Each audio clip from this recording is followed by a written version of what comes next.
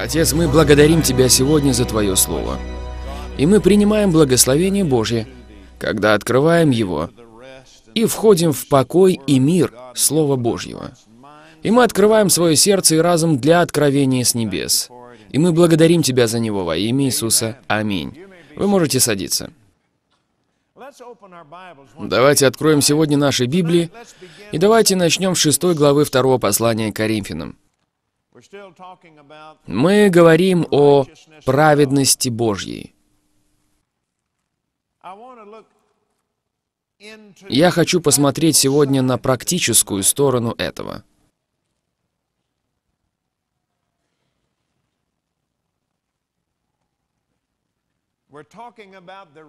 Мы говорим о реальности праведности. Это величайшее благословение нового творения. Праведность является ключевым словом к Новому Завету. Она является ключевым словом ко всем посланиям апостола Павла. Праведность — это дар, который вы получаете в момент рождения свыше, в тот момент, когда вы делаете Иисуса Христа Господом в вашей жизни. Каждое чадо Божье, каждое чадо Божье, каждое чадо Божье, Святой Божий, который ходил с Богом много, много, много лет, занимает в праведности ничуть не более высокое положение, чем чадо Божие, которое родилось свыше всего 30 секунд назад, потому что это праведность Божья, и это Он провозгласил нас правыми, привел нас в правильные взаимоотношения с нашим Небесным Отцом. Иисус, Сын живого Бога, Он — праведность Божья. Каждое чадо находится в одинаковом положении перед Отцом. У нас у всех одна и та же праведность. И позвольте мне показать вам из Слова Божьего. Это шестая глава, 2 Коринфянам,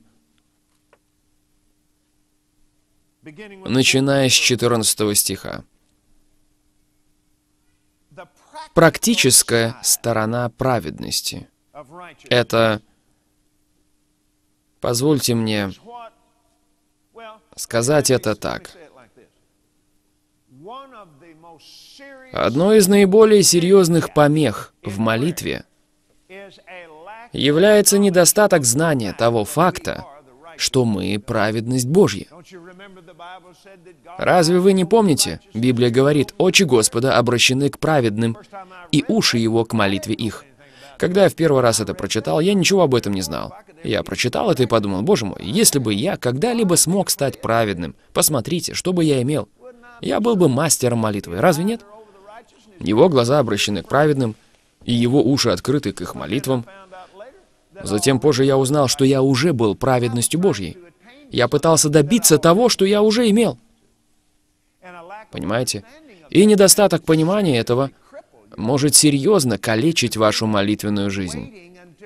Вы постоянно ждете, когда вы сможете достичь какого-то состояния благоволения со стороны Бога, так что Он ответит на вашу молитву.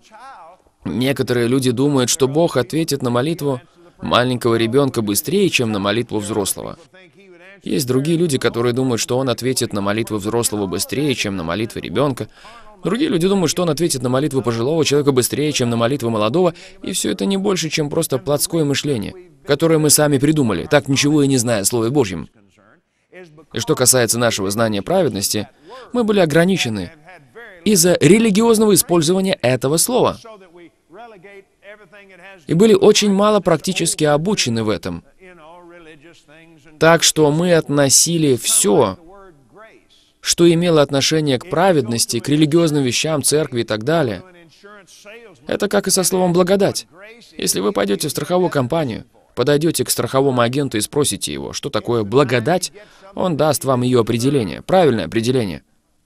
Это время, когда вы получаете то, что не заслужили. Но возьмите того же самого страхового агента. Приведите его в церковь, и он уже не сможет ответить на этот вопрос, потому что он попытается ответить на него религиозно. Но Божья благодать — это благодать. Праведность нужно изучать, ходить в ней и развивать практическое ее использование каждый день. Наше мышление должно быть сформировано ею, так, чтобы мы смотрели на то, что нас окружает, на этот мир, через нее. Это все меняет.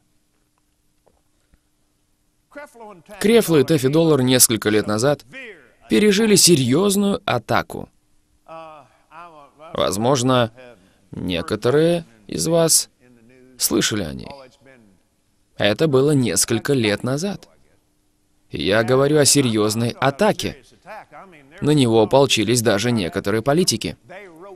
Используя ту ситуацию, они пытались лишить его права быть пастором.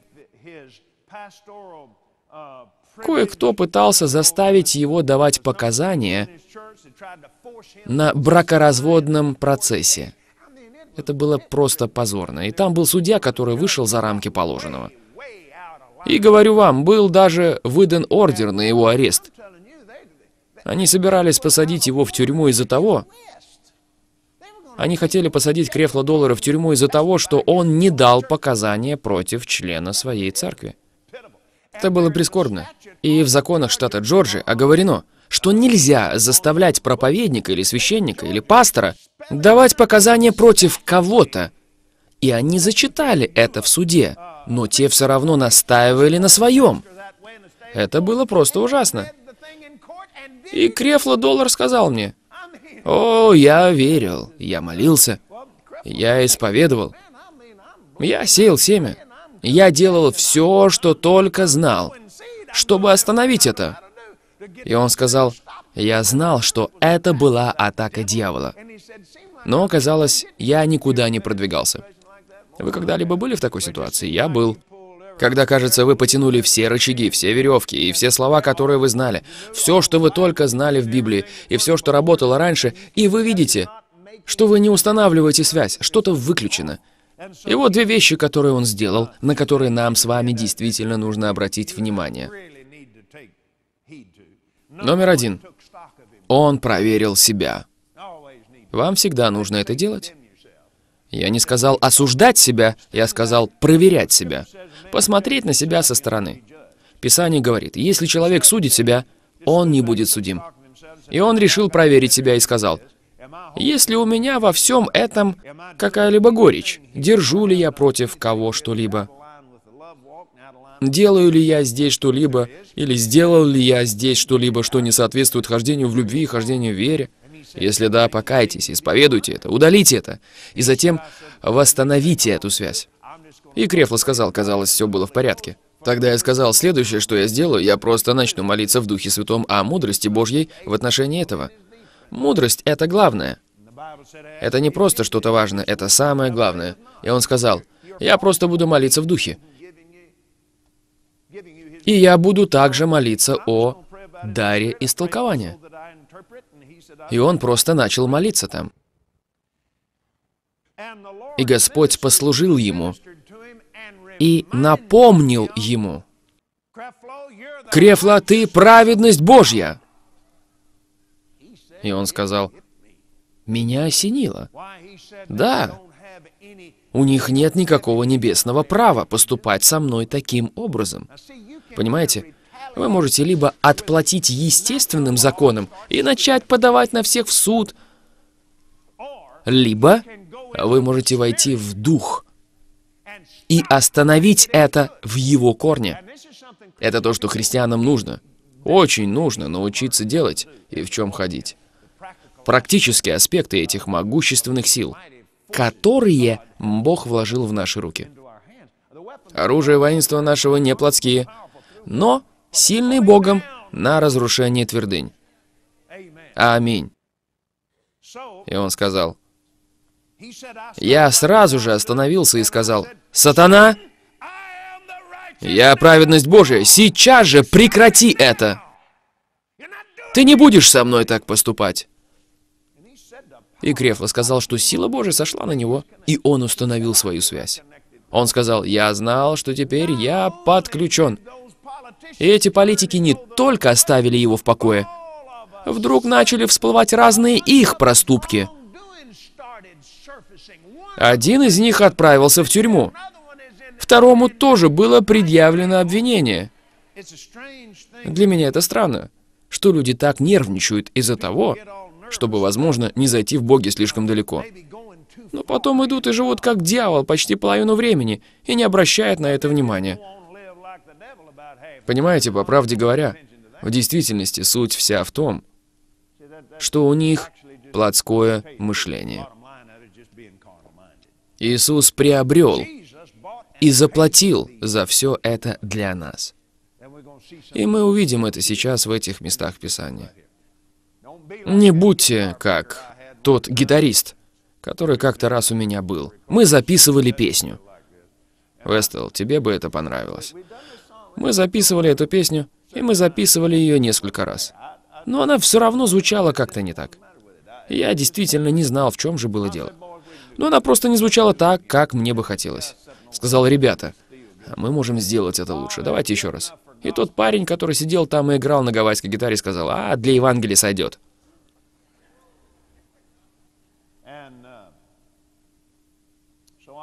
Я его уволил. И мне хотелось скормить ему эту гитару. Струна за струной. Но я поступил бы не лучше его, если бы я это сделал. Ничто не может сойти для Евангелия. Ничто не может сойти для Иисуса. Аминь. Где-то по ходу мы переключились с нашего желания сделать Дом Божий, Храм Божий, превосходнейшим сооружением в городе, на то, чтобы, знаете, он обошелся нам как можно дешевле. Где-то по ходу мы передумали. А как насчет этого храма? Как насчет вашего физического тела? Храма Духа Святого. Аминь. Как насчет тех обязанностей, которые у вас есть в этом плане? Несколько лет назад я исправил свою диету. Точнее, не я. Я отдал это в руки Бога. И Он исправил ее для меня.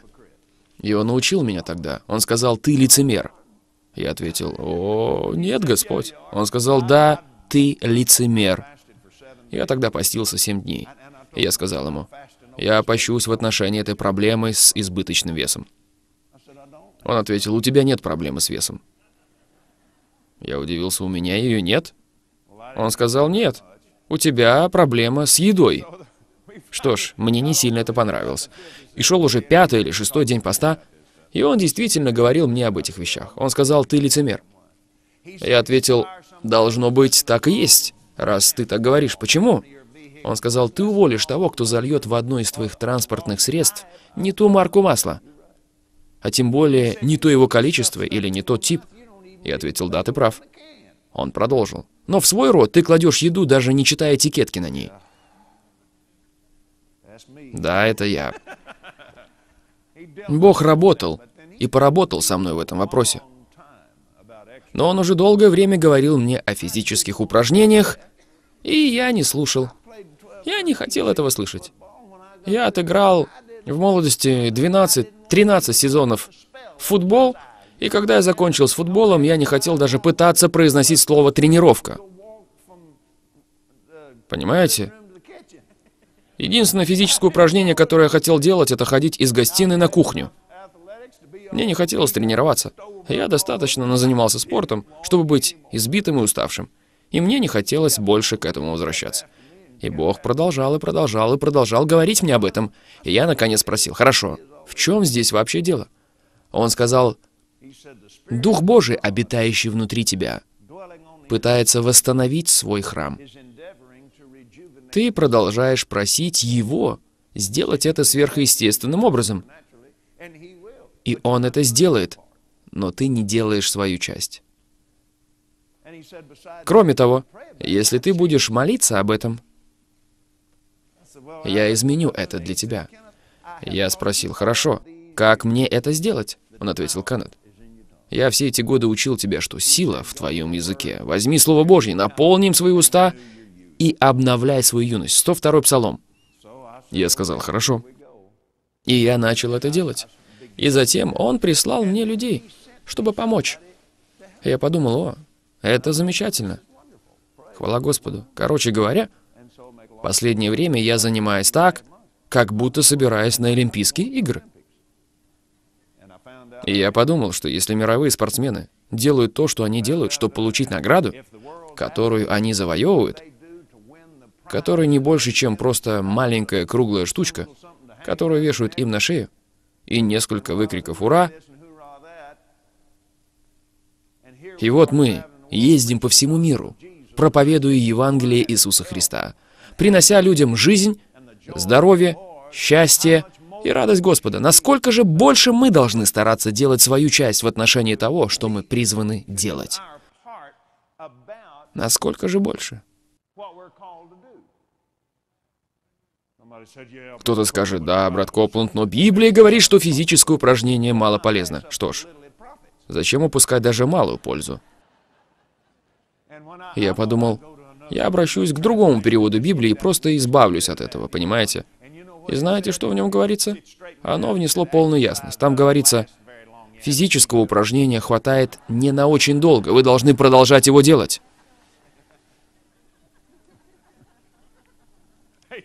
Аминь. Я сейчас нахожусь в самой лучшей физической форме, в которой я когда-либо был.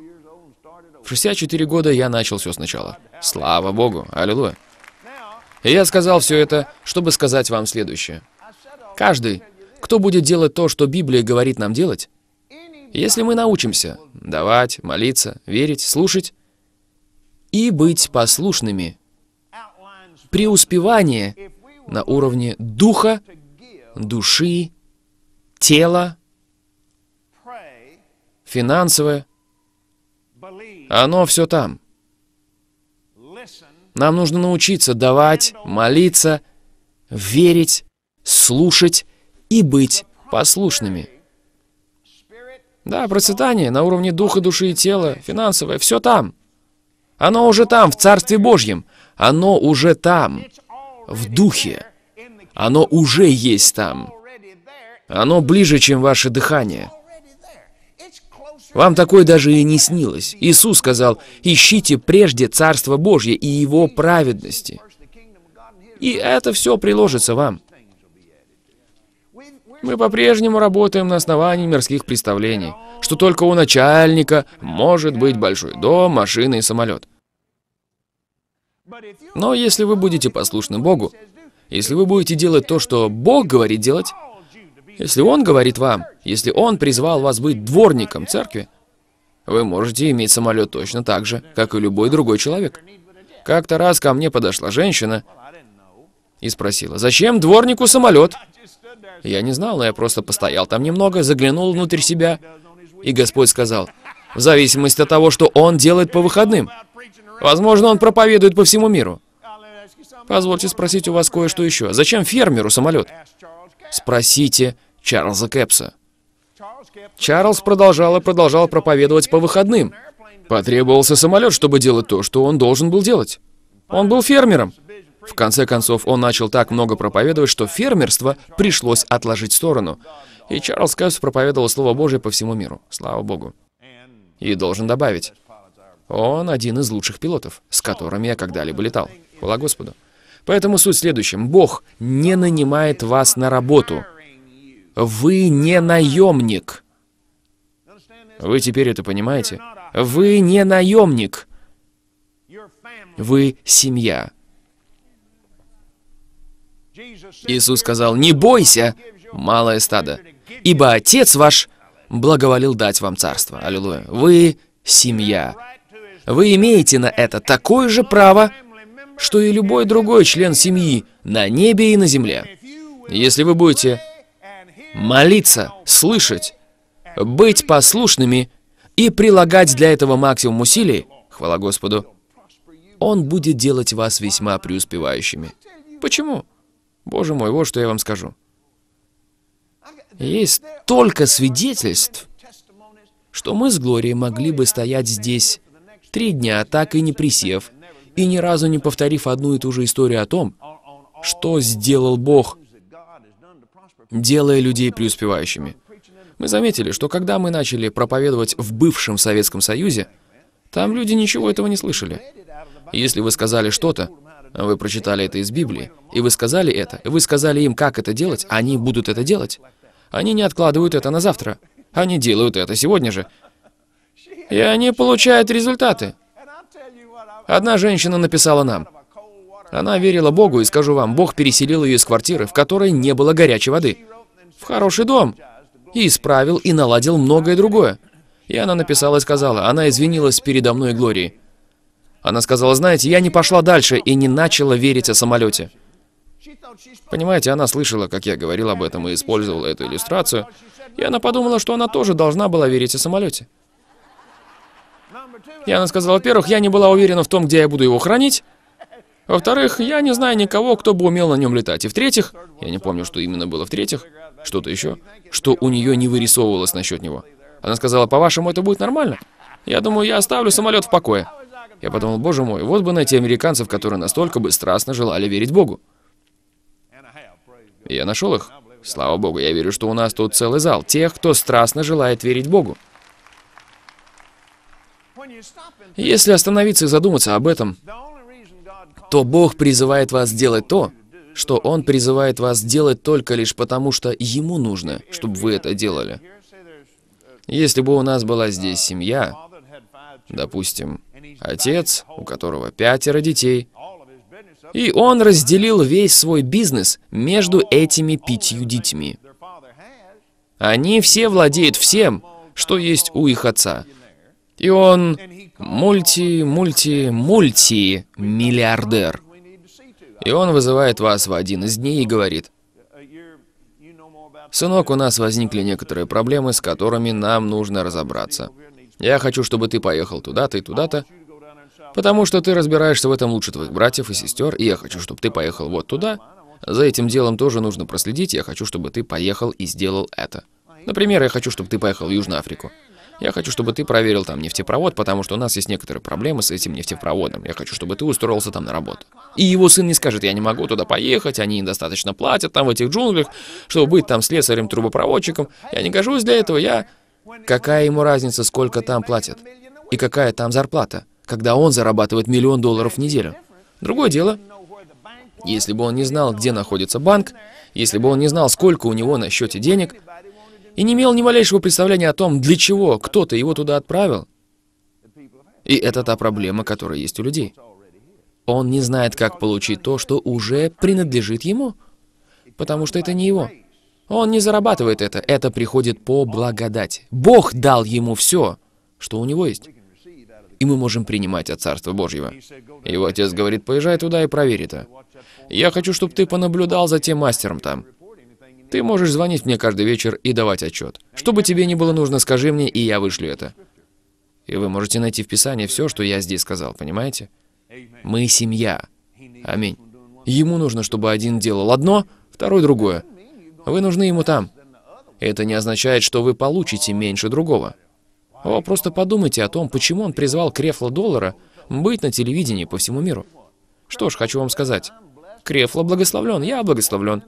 Мы все благословлены и ходим в вещах Божьих. Но я говорю вам, Бог призвал женщину в Нигерии, которая продавала отработанное машинное масло в бутылках на обочине дороги. И там это считалось жалким занятием. Ниже этого уже некуда опускаться. Продавать это отработанное масло. Торговать им в разнос. Пропускать его через какие-то фильтры, через какой-то старый бумажный фильтр – и потом стоять на обочине дороги и торговать в разнос этим отработанным маслом. Но она попала там в церковь и родилась свыше, исполнилась Духом Святым, и начала учиться тому, как сеять, и жать, и верить Богу. И она начала молиться, спрашивая у Бога, что Он хочет, чтобы она делала. Знаете, что Он сказал ей делать? Он оставил ее заниматься машинным маслом. И пастор встретил меня в аэропорту на белом Мерседесе. Я сказал, «О, красивая машина, Винс. Где ты ее взял?» Он ответил, «Мне дала ее одна женщина из церкви». И это была эта женщина. Она начала собирать всех тех людей, которые стояли вдоль дороги и продавали отработанное машинное масло. Она начала приводить их к спасению, и они исполнялись Духом Святым и присоединялись к церкви. Она организовала их всех и начала свой бизнес, где они уже правильным образом отфильтровывали это масло и делали из него хорошее масло. А потом она начала заниматься уже новым машинным маслом, и она преуспевала. Но Бог оставил ее в той сфере, в которой она и была. Но благодаря ей очень много людей родилось выше. И она купила пастору новый Мерседес. Думаю, это замечательная идея. Почаще к людям должны приходить такие идеи. Давайте сегодня начнем с шестой главы второго послания к Коринфянам. Мы говорим о праведности Божьей. Я хочу посмотреть сегодня на практическую сторону этого.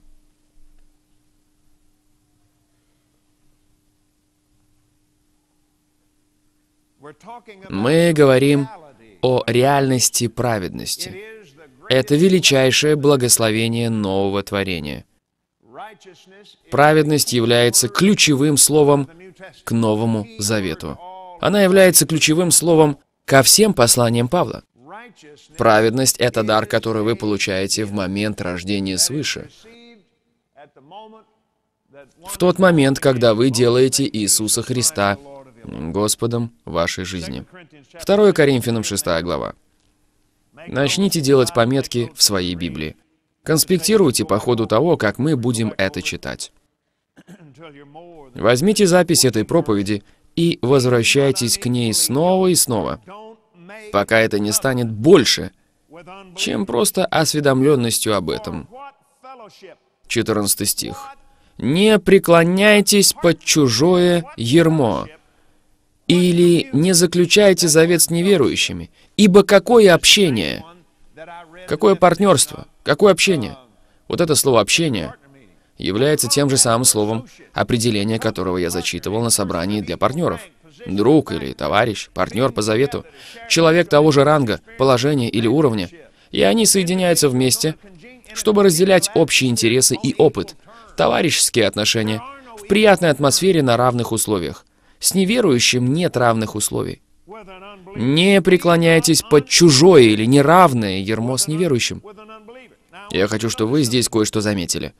Я хочу, чтобы вы увидели различие, которое Слово Божие проводит между верующим и неверующим.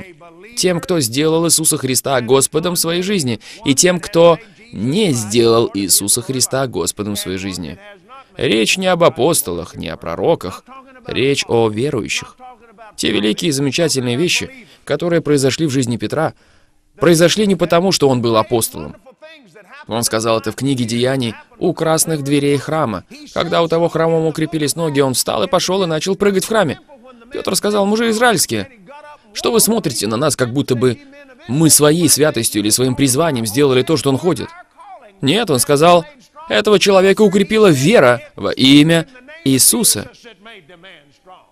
Это произошло с ним не потому, что он был апостолом. Это произошло с ним потому, что он был верующим.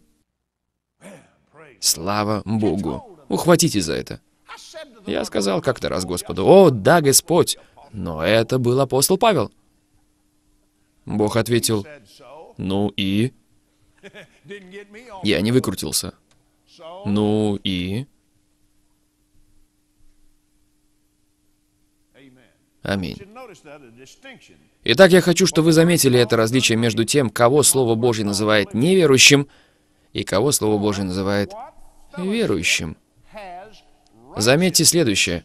Какое общение праведности с беззаконием или неправедностью? Оно называет верующего праведностью, а неверующего неправедностью. Что общего у света со тьмой? Оно называет верующего светом, а неверующего тьмой. И если Слово Божье называет вас таковыми, вы должны адаптировать для себя такое мышление. Не высокомерно или не в какого-то рода духовной гордости. Я говорю о том, что это отождествление, это то, кем вы являетесь. Какое согласие между Христом и... Если вы просто пробежитесь по этому вы пропустите то, что здесь говорится. Какое согласие между помазанным и... Там не говорилось об Иисусе, там говорилось о верующим? Какое согласие между теми, кто помазан, и Велиаром? Или какое соучастие того, кто верит, с неверным? Какая совместимость храма Божьего с идолами? Ибо вы храм Бога живого, как сказал Бог, вселюсь в них, и буду ходить в них, и буду их Богом, и они будут моим народом. И потому выйдите из среды их и отделитесь, говорит Господь, и не прикасайтесь к нечистому, и я приму вас, и буду вам отцом, и вы будете моими сынами, черями, говорит Господь Содержитель. О, слава Богу! Я ходил по своей маленькой спальне в том маленьком доме, в котором мы жили в Талсе, много лет назад. Я нашел это местописание, я читал его. Я сказал, «Он будет ходить во мне, Боже мой! Бог будет ходить во мне». Я стоял в своей комнате, я подумал, «О, его ноги в моих ногах, его руки в моих руках, его глаза за моими глазами, его уши в моих ушах. Он сказал, я буду ходить в вас, я вселюсь в вас, я буду ходить в вас, я буду вашим Богом. Когда? Когда вы занимаете свое место, как кто? Как праведность, свет, помазанный верующий, храм Божий. Вы должны думать об этом, когда идете молиться. Вместо того, чтобы опускаться на свои колени и начинать жаловаться, причитать и ныть. «О, Бог, я такой недостойный! О, я не заслуживаю получать Твои ответы на свои молитвы! Я просто такой нехороший, я просто маленький червь в земле!» О, Боже мой! Примите спасение. О, брат Копланд, я спасен уже многие годы. Тогда, похоже, вам пора было бы знать кое-что получше. Вы делаете это только лишь потому, что пытаетесь обманом заставить Бога что-то для вас делать. Это самое худшее, что только можно делать, пытаясь заставить Его что-то сделать. А именно говорить Ему, что кровь Иисуса не сработала. И вот вы рождены свыше, и вот вы червь в земле. Перестаньте. Вам следует обновлять себя на основании подобного рода мест Писания. Прежде, чем вы идете молиться, прежде, чем вы идете проповедовать, прежде, чем вы идете на работу, прежде, чем вы идете служить людям, прежде, чем вы выходите на люди. Вам следует обновлять свое мышление на основании таких мест Писания. Я праведность Божья. Я храм Духа Святого. Он во мне, номер один. Я не буду препятствовать ему. Номер два. Я буду следовать его путем. Номер три. Если он хочет использовать этот храм, я готов. Аминь. Мне не нужно идти туда, преклонять колено перед этим миром и просить у них средства к существованию. Просить их дать мне взаймы достаточно денег, чтобы сделать то, что я хочу сделать. Особенно что-то, что Бог сказал мне сделать. А как еще я это получу? Из этой книги. Но вы никогда этого не получите, пока не начнете жить в этом, и оно не начнет жить в вас. Иисус сказал, «Если прибудете во мне, и слова мои вас прибудут, то, чего не пожелаете, просите, и будет вам». Будет вам. Но вы должны пребывать. И эти слова должны пребывать. Вы должны читать такие места Писания и говорить, «Хорошо, я знаю, что я верующий, и теперь никто не будет со мной спорить, я знаю, что я верующий. Но, Господь, что касается этой праведности, о, я хорошо, я не чувствую себя праведным. Я знаю, я не выгляжу таким уж праведным, но ты сказал это здесь, поэтому я принимаю это. Я соглашаюсь с этим. Я... Я был сделан праведностью Божьей. И здесь говорится помазанным. 20 и 27 стихи 2 главы 1 послания Иоанна. Говорят, «Помазанье, которое вы получили от Него, сейчас пребывает в вас». Оно сейчас внутри вас. Помазание Божье прямо сейчас внутри вас. Именно поэтому мы названы телом Христовым. Тело помазано так же, как и его глава. Аминь. Позвольте этому помазанию выйти наружу. Ходите в нем. Вы никогда не будете ходить в нем, если вы духовно боитесь заявить о своих правах на свое место. Изучите 90-й псалом. Обратитесь к нему и изучите это. И не просто читайте его. Возьмите симфонию и посмотрите в ней эти слова. Вы находите то место, где говорится о том, что мы живем под кровом Всевышнего. И вы находите в нем такого рода слова. Те, кто заявляет о своих правах. на свое место под кровом Всевышнего, под сенью Всемогущего. Оно начинается со слов «говорит Господу». И затем Он избавит вас. Прочитайте его в расширенном переводе Библии, изучите его. Изучите его, используя симфонию, и посмотрите, как именно там это говорится. Это удивительно, но вы должны занять свое место. Займите свое место. Давайте вернемся вот сюда. Нет, позвольте мне закончить э, говорить об этом. Господь пока еще не позволяет мне с этого переключиться. Я ходил там по своей спальне, и я понял это. Я сказал, когда я подхожу к какой-то опасности, он подходит к ней вместе со мной. Он там. И до этого я действительно был робким в отношении того, чтобы возлагать руки на людей или свидетельствовать кому-то. В тот вечер, когда я был крещен Духом Святым, мы были на небольшом собрании. Мы с Глорией были спасены всего несколько дней. И они пригласили выйти вперед тех, кто хотел получить крещение Духом Святым. А мои родители сидели прямо за нами. И вы понимаете, я чуть не пошел в ад, и я знал это. И я принял решение, так, все, я больше не буду этого делать. Я повернулся к маме и спросил, «Мама, мне следует это получить?» Она ответила, «Тебе следует это получить». Я вскочил и побежал. Я понятия не имел, о чем они говорили. Но я собирался выйти вперед и получить это, что бы это ни было. Я вышел вперед, и, конечно, люди там молились, и Глория просто проследовала за мной. Мы вышли вперед, и женщины молились за нее, а мужчины молились здесь. Я не знал, что они хотят, что бы я сделал, я просто стоял там. И одни из них говорили «Жди, брат», другие говорили «Отпусти». А я никак не мог разобраться. Никто ни разу не сказал мне что-либо о Писании или еще о чем-то. Я не знал, во что верить. Я не знал, что они хотели, чтобы я делал. В конце концов, они, похоже, махнули на меня рукой, а женщины все еще продолжали молиться за Глорию. И доктор Билл Рид, он был крещенным Духом Святым хирургом. И это было его собрание. Он проводил там это собрание, и доктор Рид был смелым. Он был настолько смелым. Доктор Рид схватил меня за руку и сказал, «Пойдем помолимся за Глорию». Я ответил, «Хорошо». Мы подошли туда, все стояли вокруг Глории и молились. Те женщины просто молились за нее в Духе Святом. Мы подошли туда, и доктор Рид сказал, «Возложи на нее свою руку». Я ответил, «Нет, я этого не делаю». И я отошел немного назад. Мой папа был диаконом в Первой Баптистской церкви. Единственное, что я знал, это как стояли диаконы. Как они стояли. Один стоял вот здесь, а второй стоял там, позади. Это мой папа там, позади.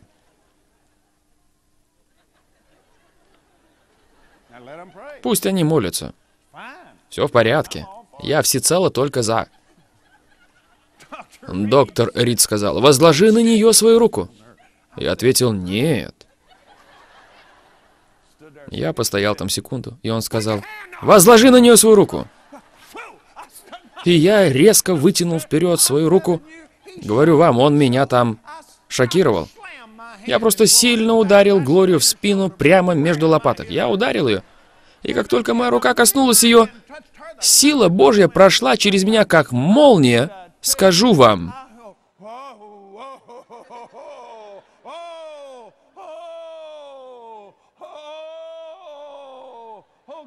Боже! О, слава! О, Боже! Аллилуйя! Я отошел, чтобы сесть на стул, и тут подошел доктор Рид. Он подошел ко мне. О, Боже! О, слава! Боже! И он сказал, перестань говорить на английском языке. Я ответил,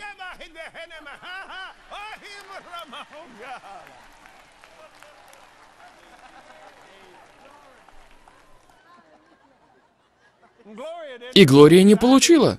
А я получил крещение Духом Святым. Она получила его следующим вечером. И в тот вечер я должен был вернуться в Литл Рок, штат Арканзас. Говорю вам, я никогда в своей жизни не переживал ничего подобного. О Бог, я так рад, что я спасен. Аллилуйя. Я получил это, что бы это ни было. Я сел в тот вечер в самолет и направился обратно в Литл Рок. Была красивая зима. Январь 1963 года. На небе ни облачка. Чистое небо. На любой высоте можно было видеть на 250 километров вперед. Звездная ночь. Я просто летел там один. Я сказал, о, Господь, Боже мой, вот что я сделаю. Я сделаю это снова. Я сказал, я не знаю. Я не знаю, что это такое. Я этого не понимаю. Но я сделаю это снова. Я сказал, если ты благословляешь это, что ж, я буду продолжать это делать. Если ты не благословляешь это, что ж, тогда, полагаю, на этом оно и закончится. Я не знал Писания. Вы понимаете это? Когда я принял спасение, я не знал, где была моя Библия. Глория знала. Она нашла ее. И благодаря ей приняла спасение за две недели до того, как я принял спасение. И я этого не знал. На каждый день рождения мама присылала мне Библию. На каждый день рождения я получал Библию. И на первой странице этой Библии мама написала место Писания, и Глория открыла, прочитала его и приняла спасение. А я ничего об этом не знал, понимаете? Я узнал об этом только через две недели и принял свое спасение. И вот я летел там. Я сказал буквально слово или два, и вот оно снова пошло. Дорогой Господь, я летел на автопилоте, я сидел там и просто наслаждался этим временем. И вот уже показался город Литл Рок, и я посмотрел, посмотрел вниз. Мне оставалось порядка 35 километров. Мне нужно было связаться с диспетчерским пунктом, и мне стало интересно, что они услышат. Я подумал, Господь.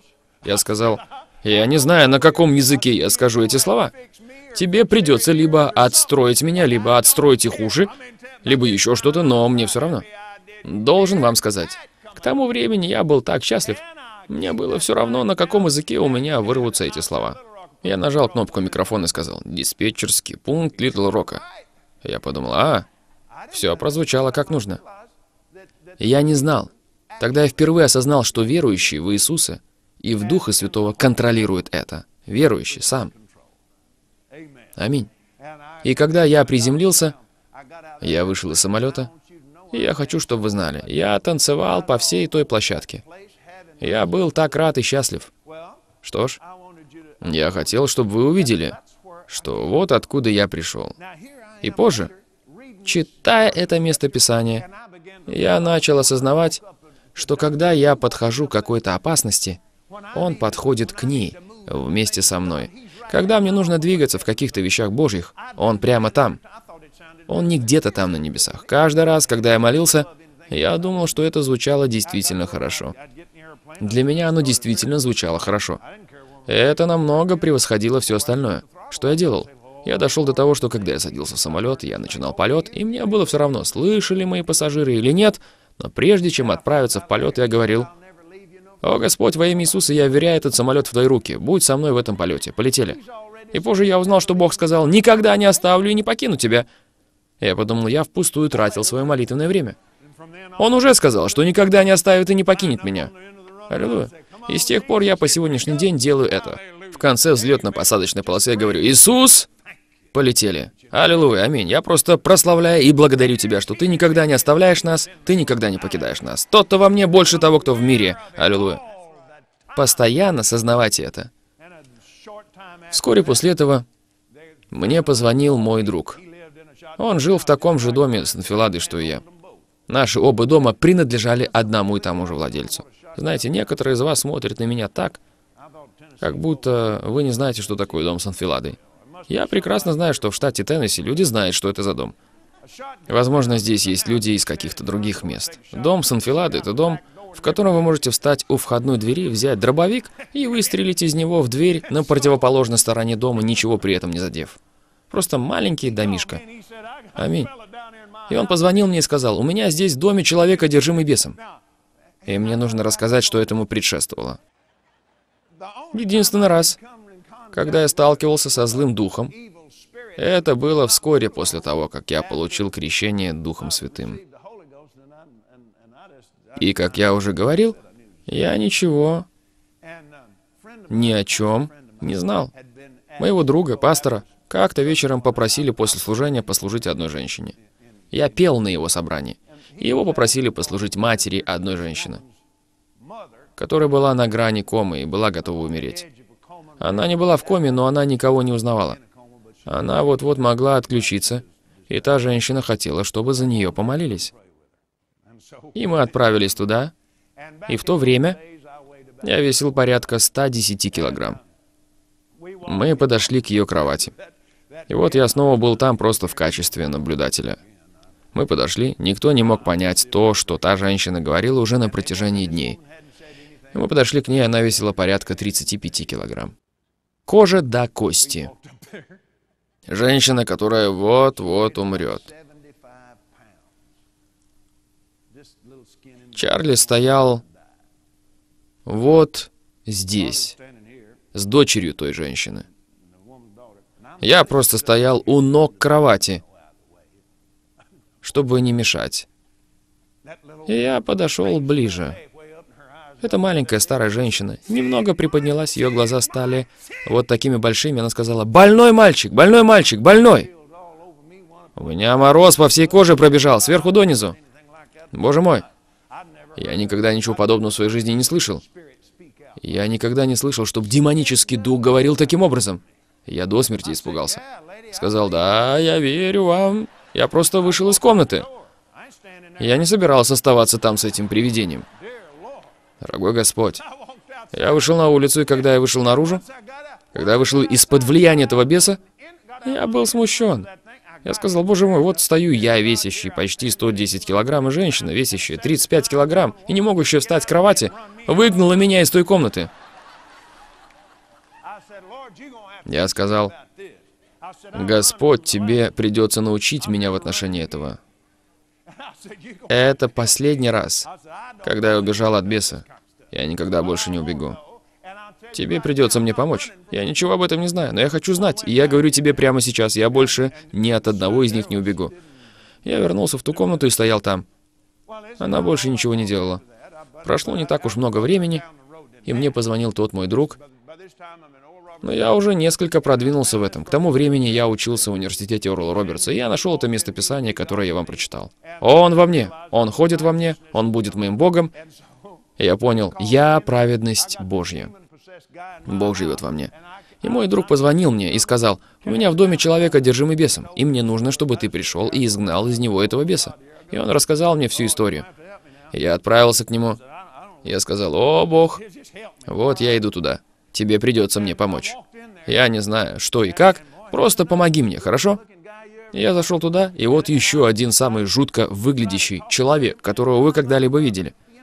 Я попытался поговорить с ним, но я с таким же успехом мог, знаете, я разговаривал с животными, с которыми было легче найти понимание, чем с тем кадром. Я был просто где-то там, в каком-то другом мире.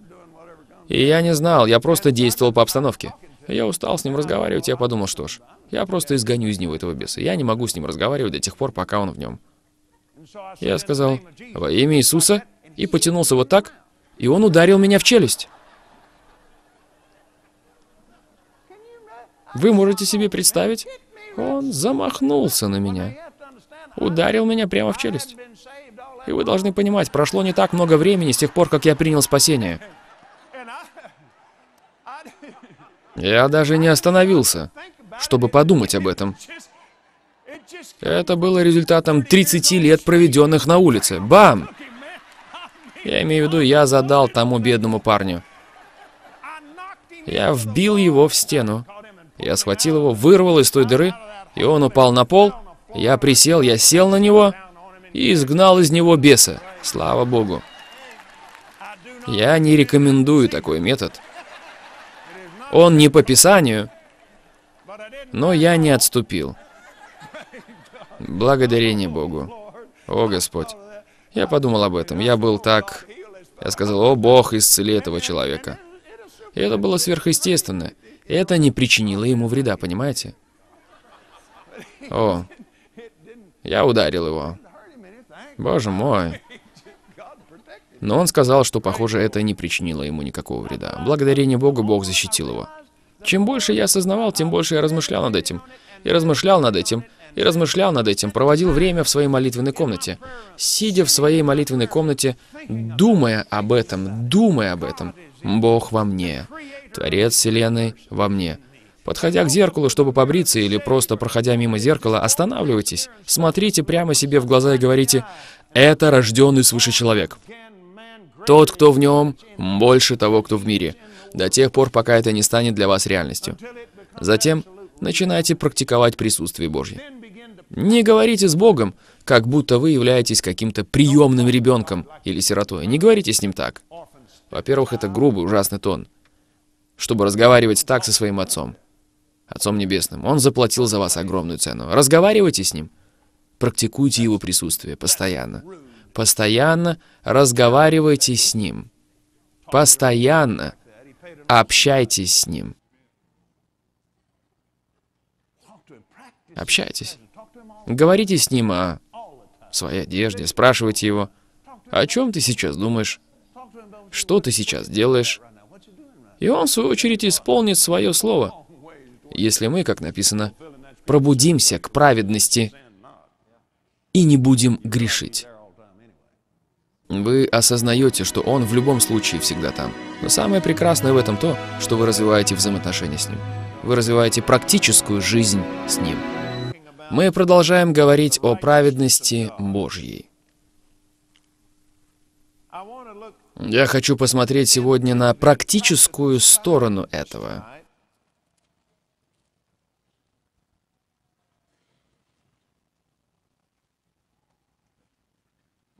Мы говорим о реальности праведности. Это величайшее благословение нового творения. Праведность является ключевым словом к Новому Завету. Давайте откроем третью главу послания к римлянам. Мы должны завершить эту тему, я хочу прочитать эти места Писания. Вы просто будьте как орел, просто прыгните со скалы и начните лететь. Аминь. Боже мой. Это секрет. Третья глава римлянам является секретом успеха всех тех великих людей веры, перечисленных в 11 главе послания к евреям. Всех тех людей веры, святых Божьих. Я собираюсь поделиться с вами секретом их успеха. Дальше в 4 главе нам рассказывается об Аврааме, но посмотрите третью главу, 21 стих. «Но ныне, независимо от закона, явилась правда или праведность Божья, о которой свидетельствуют законы пророки. Правда или праведность Божья через веру в Иисуса Помазанного и через Его помазание во всех и на всех верующих. Ибо нет различия. Не то, чтобы у одного был высокий стандарт праведности, а у другого низкий. Нет. Ибо нет различия, потому что все согрешили и лишены славы Божьей,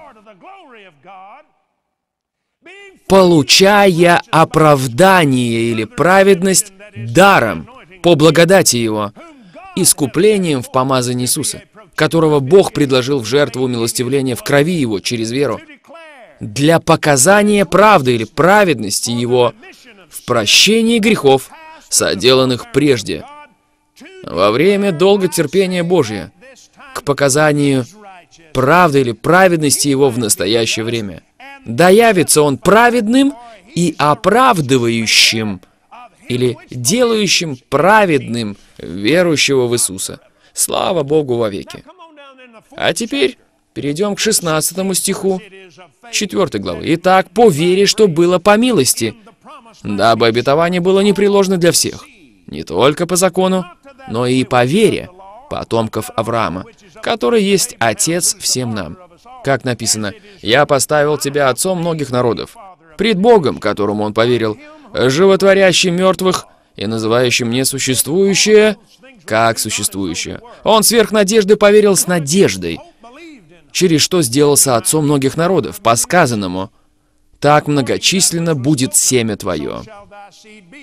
И, не изнемогши вере, он не помышлял, что тело его почти столетнего уже омертвело, и утроба Сариного мертвения, не поколебался в обетовании Божьим неверием, но пребыл тверд в вере, воздав славу Богу. И будучи вполне уверен, что он силен исполнить обещанное, потому и вменилось ему в праведность. А впрочем, не в отношении к нему одному написано, что вменилось ему, но и в отношении к нам. Вменится и нам, верующим в того, кто воскресил из мертвых Иисуса, Господа нашего. В своей Библии над словом «нам» в маленьких скобках я написал «мне». Вменится и «мне», верующему в того, кто воскресил из мертвых Иисуса, Господа моего, который предан за грехи мои и воскрес для оправдания моего или для моей праведности. Итак, оправдавшись или будучи сделанными праведными, верою, мы имеем мир с Богом. Как только вы начинаете верить, что вы праведность Божья, вы перестаете думать, что, возможно, Бог злится на вас. Что, возможно, вы не нравитесь Богу так, как Ему нравятся все остальные. В конце концов, вы просто маленький вы. Нет, вы не маленький вы, вы были рождены свыше. У вас есть величие Бога. На вашей жизни есть печать вечности. Аллилуйя. Слава Богу. Вы были сделаны праведностью Божьей. И чем быстрее вы начнете действовать на основании этого и занимать свое место, тем быстрее дьявол будет реагировать, когда вы говорите и удаляться из вашего присутствия. Потому что это не вы говорите. Итак, мы здесь в послании к римлянам, давайте продолжим двигаться дальше. В пятой главе. Посмотрите на 15 стих. «Но дар благодати не как преступление. Ибо если преступлением одного, Адама, подвергли смерти многие, то тем более благодать Божья и дар по благодати одного человека, Иисуса, помазанного, преизбыточествуют для многих. И дар не как суд за одного согрешившего. Давайте перейдем к 17 стиху. «Ибо, если преступлением одного смерть царствовала посредством одного, то тем более благодать Божья и дар. Дар, дар. Что это? Это дар благодати. Дар по благодати.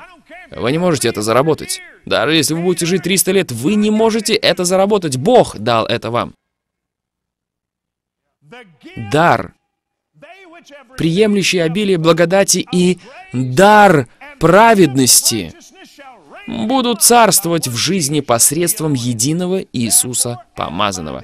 Посему как преступлением одного всем человекам осуждение, так правдою или праведностью одного всем человекам оправдание, или дар праведности к праведности жизни.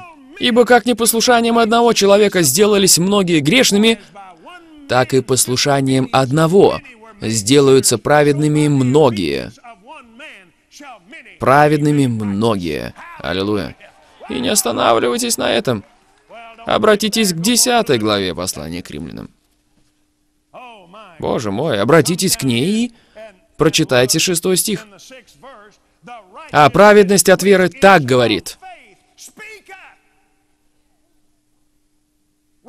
Праведность говорит. Это говорит не Билл Смит, не Кеннет Копланд, не Орл Робертс, не Кеннет Хейген. Это говорит праведность. Когда я впервые оказался в комнате для больных на собраниях Орла Робертса, мне поручили пойти туда. Я должен был внимательно слушать то, о чем проповедовал Орл Робертс. Затем пойти туда и передать им основные пункты его проповеди, до того, как он туда придет. Он приходил туда и возлагал руки в той комнате для больных, на тех людей, которые не могли находиться в собрании, прежде чем идти и возлагать руки на людей в собрании. И я должен был напомнить им основные пункты проповеди и приготовить их к тому, чтобы на них были возложены руки. И сказать им высвободить свою веру. когда пророк Божий возложит на них руки. Это то, что я должен был делать. И в первый день Орл Робертс вошел туда. Собрания проходили в большой палатке.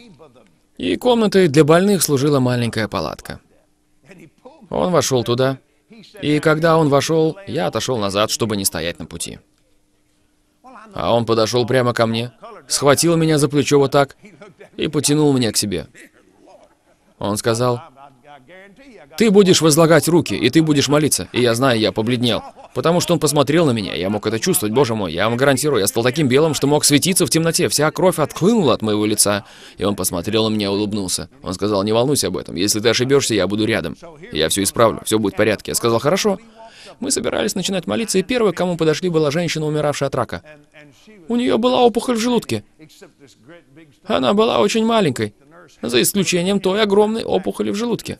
Она была настолько слаба, что медсестра должна была, упершись ей руками в спину, повернуть ее вот так на бок, чтобы на нее возложили руки. Я подумал, о Господь, почему я должен начинать с этого? Я подумал, ну что ж, начнем. И Орл сказал, не прикасайся к ним, пока ты не будешь готов высвободить свою веру. Хорошо. Я подумал, он проповедовал о точке контакта. Понимаете? Я подумал, моя точка контакта — это имя Иисуса. Когда я произнесу Его имя, я высвобожу свою веру и возложу на нее руки. Я делаю так и по сегодняшний день, спустя столько лет. Если только Бог не ведет меня действовать как-то иначе. Я подошел к ней и сказал, «Во имя!» И прежде чем я успел сказать «Иисуса», прежде чем я коснулся ее, говорю вам, у меня в голове промелькнула мысль, «О, лев из колена Иудина!» Я имею в виду, что Орл Роберт стоял прямо за мной. Но это было что-то настолько мощное, настолько сильное.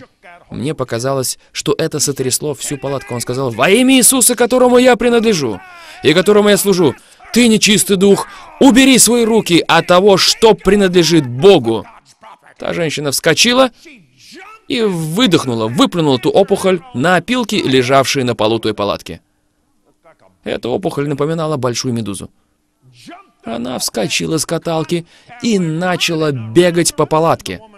Эта женщина, которая не могла сама даже приподняться, она бегала по палатке и кричала «Я исцелена!». У нее больше не было большого живота. Я хочу вам кое-что сказать. Это говорил не Орл Робертс. Я с тех пор понял, изучая то, чем я делюсь сегодня с вами. Духовное применение этого, практическое применение этого в жизни – состоит в том, чтобы стать настолько сознающими и обновить свой разум в отношении того факта, что это говорите не вы, это говорит праведность Божья. Праведность от веры так говорит. Не говори в сердце твоем, кто взойдет на небо, то есть помазанного свести, или кто сойдет в бездну, то есть помазанного из мертвых возвести. И каждый из нас это делал. Вы точно в числе таковых. О, Господь, неужели ты не видишь, какой я неразберихи? Бог, неужели ты не понимаешь, как мне больно? Неужели ты не видишь, как я болен? Библия говорит, все, чего не будете просить в молитве, верьте, что получаете. Вы это просите? Иногда бывает, что боль побеждает вас. Все ваши благие намерения и все остальное.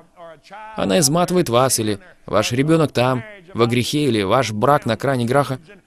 О, Господь Иисус, если бы ты только мог, о Бог, если бы ты только, о Иисус, я слышал о том, как ты являлся людям. Я слышал о том, как ты приходил в видение. Если бы ты только мог прийти и возложить свою руку на мою голову, когда у меня жар. Если бы я только мог увидеть тебя, я знаю, что я смогу поверить. Это не говорит праведность. Праведность верой говорит, не говори так. Восьмой стих. Что она говорит? Праведность от веры или праведность верой говорит, близко к тебе слово, в устах твоих и в сердце твоем, то есть слово веры, которое проповедуем. Слава Богу! И в заключение этого я вам кое-что скажу.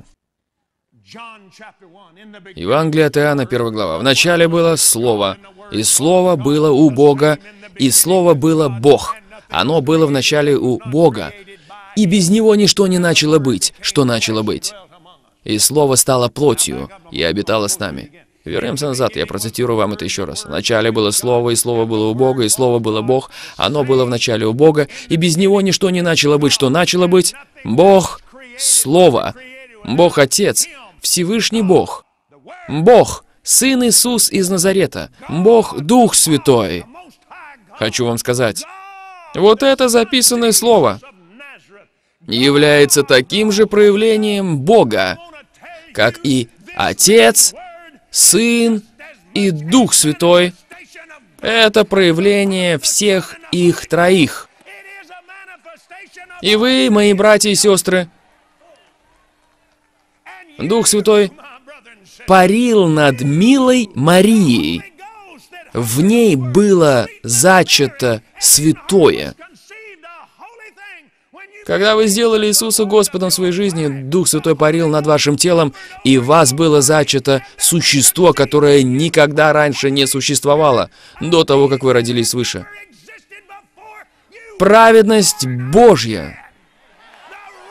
Праведность Божья. Вкладывайте туда Слово Божье.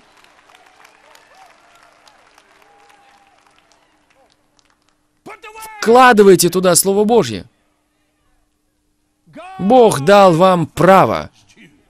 Бог дал вам разрешение. Бог назвал вас своим именем, крестил вас своим духом, дал вашему разуму свое помазание и дал вам право вкладывать его сильное, святое, созидающее слово в ваше сердце и в ваши уста, и разрешил вам говорить его. И благодаря этой святой крови Он посредством завета соединил вас с собой. И Он, говорит дьяволу, этот человек так же праведен, как и я. И когда он говорит, ты убегаешь. И то место Писания не просто говорит, противостаньте дьяволу и убежит от вас. Там говорится, покоритесь Богу. А вы должны подчинить себя этому слову. Оно должно стать окончательным авторитетом вашей жизни. Вы не можете играть в эти жульнические игры, играть в церковные игры, или в сексуальные игры, или в финансовые игры, или еще во что-то в этом роде. Так вы пытаетесь жить двумя жизнями. Вы не созданы для двойной жизни. Вы созданы жить этой жизнью, как Иисус. Вы созданы жить и ходить в святости Божьей. Вам не нужно пытаться быть святыми. Перестаньте пытаться быть святыми и пробудитесь к праведности. Сделайте Слово Божье окончательным авторитетом в своей жизни. Подчинитесь Его власти и ходите с Ним. Ходите с Ним. Позвольте вещам Божьим подняться внутри вас. Аллилуйя. Ваше тело придет к тому, что оно больше не захочет ничего из этого мусора. Люди, которые святые, в кавычках, своей собственной силой, вы не можете перестать грешить, когда подходите к этому по плоти. Даже несмотря на то, что вы не делаете то, и вы не делаете это, и вы не делаете то-то, и вы не делаете то-то, и вы не делаете это, вы тут действительно имеете дело с запретом. И вы можете никогда этого не делать. Но сам факт того, что вы делали это по плоти, достигали этого по плоти, является грехом. Расслабьтесь и обратитесь к Слову Божьему. Ходите в нем. И вы не будете чего-то делать не потому, что нельзя это делать, а потому, что вы не можете это делать. Он не будет говорить с вами о том, что вам лучше прекратить делать то и прекратить делать это. Он начнет говорить вам, что он хочет, чтобы вы делали. Не то, что он хочет, чтобы вы не делали, а что он хочет, чтобы вы делали. Чем больше вы в этом ходите, вы когда-нибудь задумывались о том факте, что плод Духа... О, я не собирался сегодня заходить в этом так далеко. Но ваш духовный человек, если бы вы могли выйти из своего тела, это и есть настоящий вы. И мы смогли бы вас узнать. Как-то раз кто-то у меня спросил, мы сможем узнать друг друга, когда придем на небо? Будем ли мы знать друг друга? Что ж, вы бы знали меня, если бы мы были в Далласе. Если вы знаете меня сейчас, вы будете знать меня и потом. Если вы не знаете меня сейчас, вы не будете знать меня и потом. Мы должны познакомиться. Вы не превратитесь во что-то другое, когда придете на небо. Там нет людей, которые превращаются в ангелов. Там такого нет. Ангелы находятся в совершенно другом духовном классе, и они не сотворены выше вас. Они сотворены ниже вас. Человек опустился ниже, когда подчинился ангелу. И Иисус должен был спуститься ниже уровня ангелов для того, чтобы добраться до нас. Но Он воскресил нас, чтобы мы могли сидеть с Ним на небесах.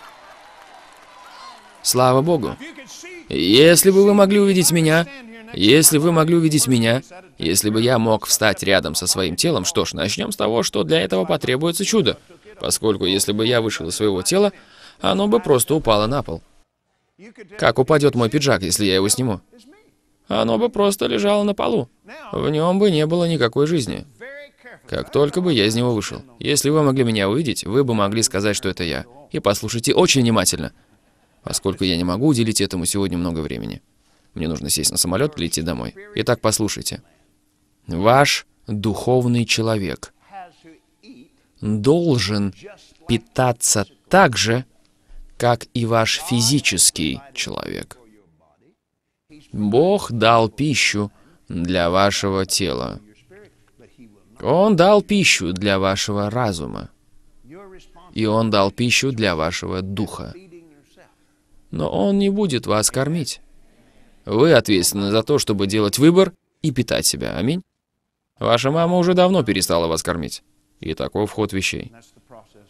И дух питается духовной пищей. Тело питается физической пищей, и разум питается интеллектуальной пищей. Душа, которая состоит из вашего разума, вашей воли и ваших эмоций, является частью вашего духа. Она там. Она не здесь. Мозг здесь. И душа использует мозг, чтобы контактировать с интеллектуальным миром через физическое тело. Богач, о котором говорил Иисус, умер, пошел в ад, и он поднял свои глаза и увидел Авраама. Помните это? Он был в аду, и его тела там не было, не так ли? Его тело было где-то там, в могиле. И его мозг тоже был в той могиле. Его мозг — это физический орган, и тем не менее, Авраам сказал ему, «Сын, помнишь?» Его память была не в его мозге, не так ли? Его память не повредилась, она была там, в нем. Она была в его духе. Его разум был в его духе. Есть люди, с их разумом все в порядке, но их мозг поврежден, и разум не может через него пробиться. Я сказал все это потому, что я хочу, чтобы у вас была ясная картина. Этот духовный человек был рожден свыше, и ваше тело не может жить без вас. Но вы можете жить без своего тела. Выйти из тела значит водвориться у Господа. И нам нужно делать акцент на этом внутреннем человеке. Это настоящий вы. Пусть постится ваше тело, если хотите. Но не ограничивайте в пище свой дух. Питайте этого духовного человека Словом Божьим. Питайте его так, как я говорил вам сегодня. Размышляйте над этими вещами. Займите там свое место.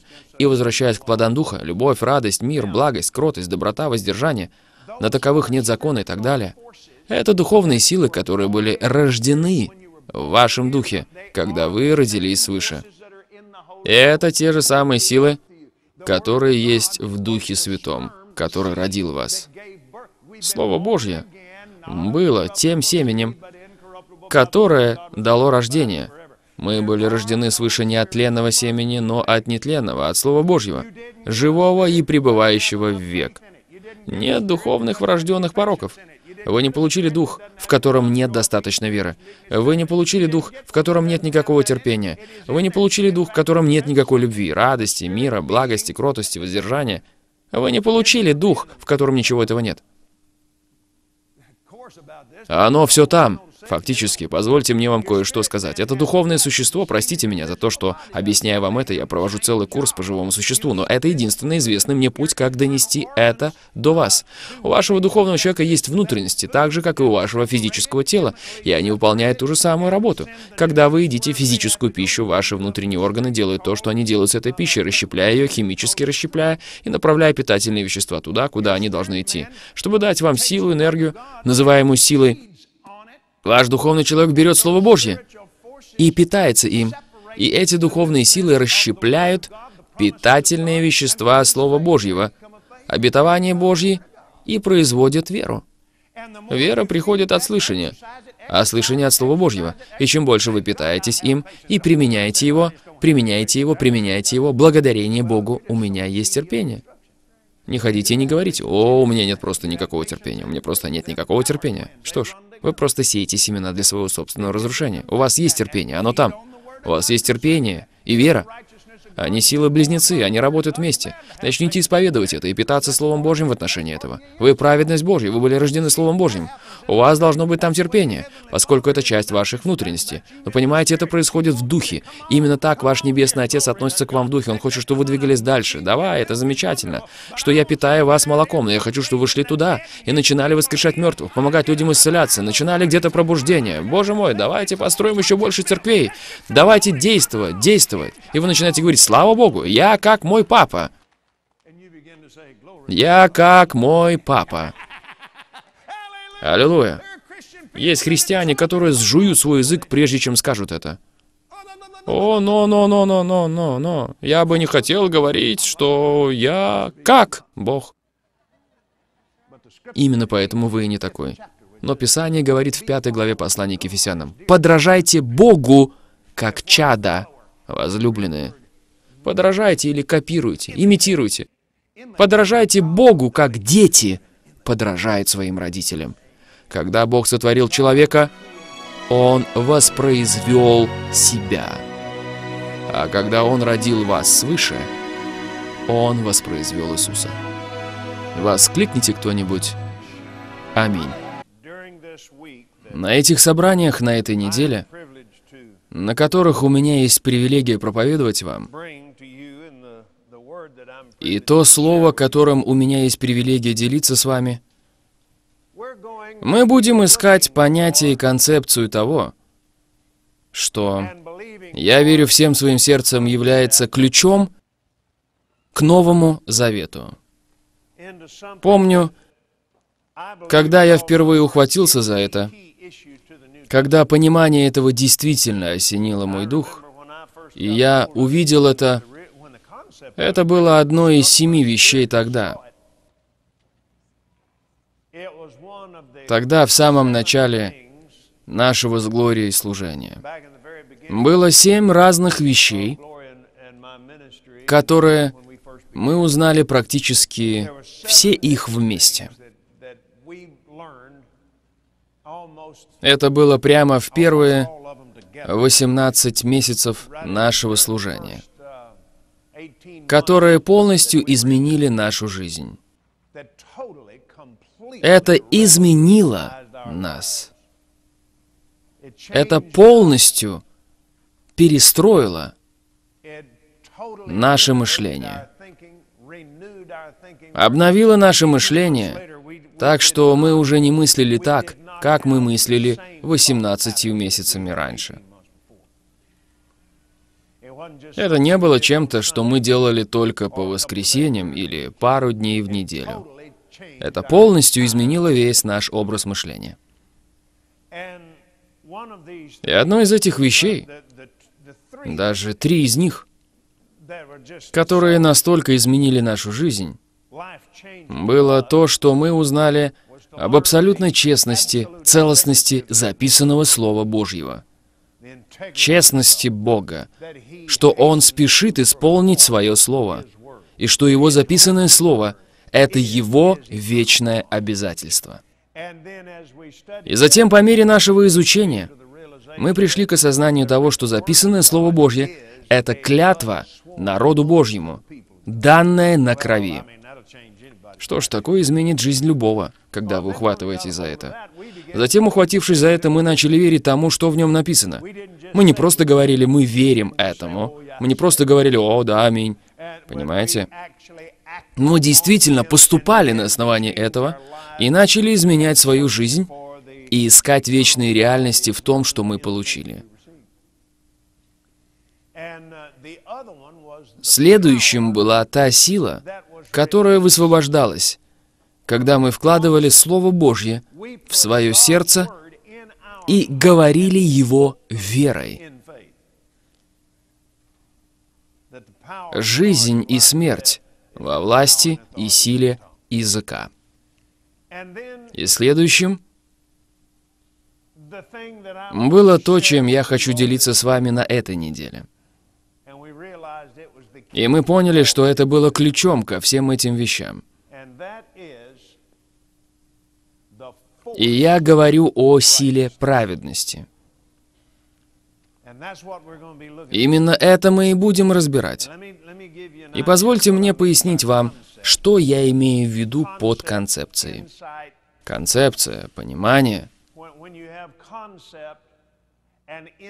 Когда у вас есть концепция и понимание чего-то, тогда у вас начинает формироваться связанные с этим представления и идеи.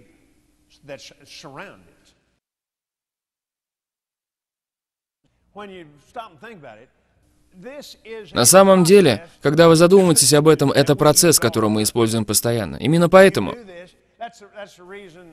Вы когда-нибудь слышали слово «изучение»? Изучение. Вы знали, что это библейское слово? Это не какое-то плохое слово. Это библейское слово. Библия говорит, изучай, чтобы представить себя проверенным. Что происходит?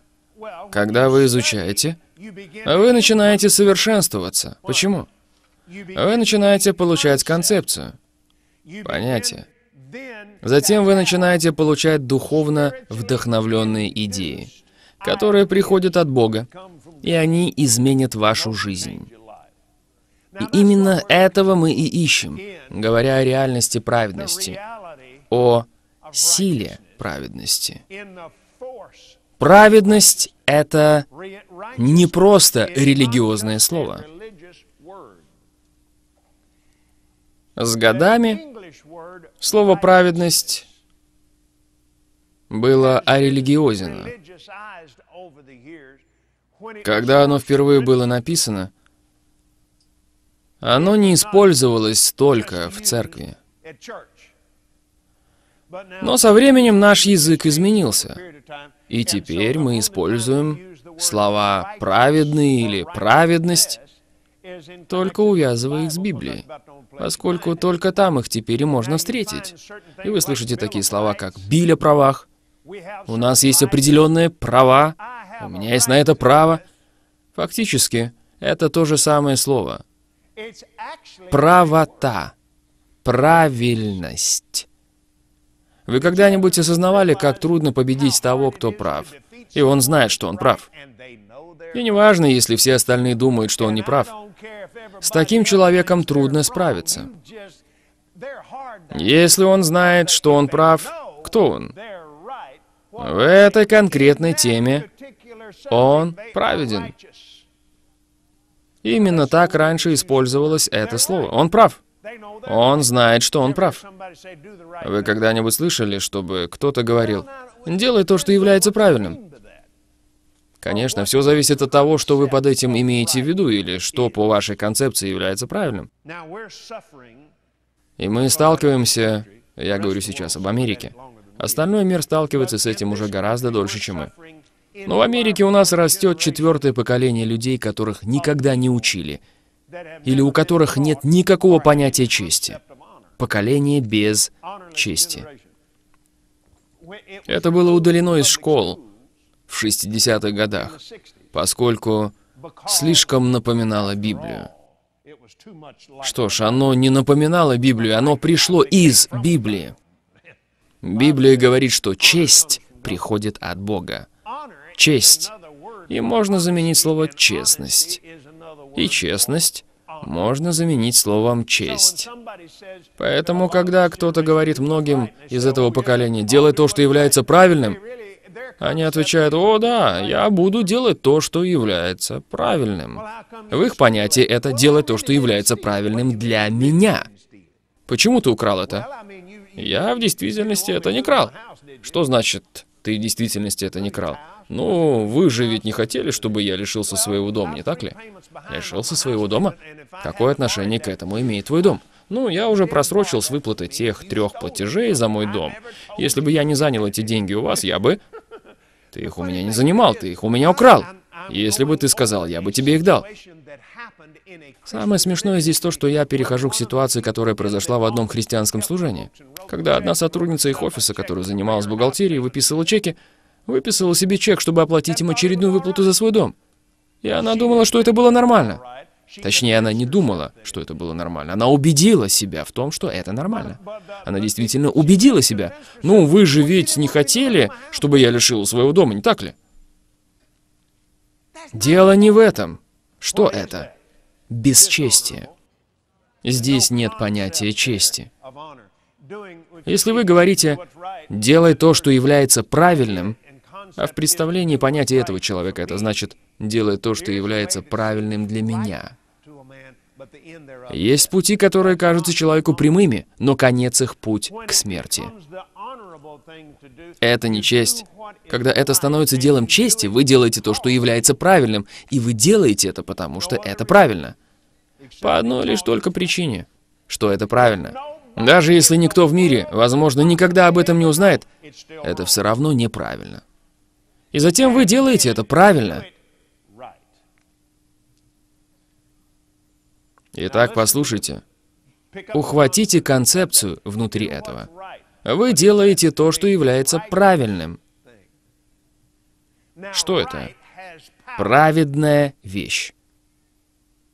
И правильность имеет силу. Это больше, чем просто идея. Правильность имеет силу. Вот эти две темы, честь и праведность, настолько иллюзорны. Нужно ухватиться за их концепцию и развивать ее, пока они не станут реальностью. Им нужно как учиться, так и чувствовать их. Честь — это что-то, в чем есть здравый смысл. Может быть, что-то такое, что для всех остальных кажется просто настолько запутанным и серым. Там ничего не понятно.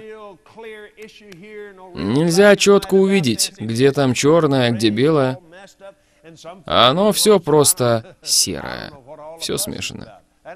И кто-то приходит и говорит, я не знаю, из-за чего вся эта суета. Это неправильно. У этого человека есть базовый стандарт, которому он следует и подчиняется, которым может быть только Слово Божье. Почему? Потому что Бог прав. Бог прав. До тех пор, пока Адам был прав, у него была сила. А вы ухватываетесь за то, что я говорю? Что сделал Адам? Он поступил бесчестно по отношению к Богу. Он сказал одно, а сделал другое. Он согласился с Богом в отношении Божьего наставления, но потом сделал как раз обратное. Как только он поступил бесчестно, он уже больше не был прав.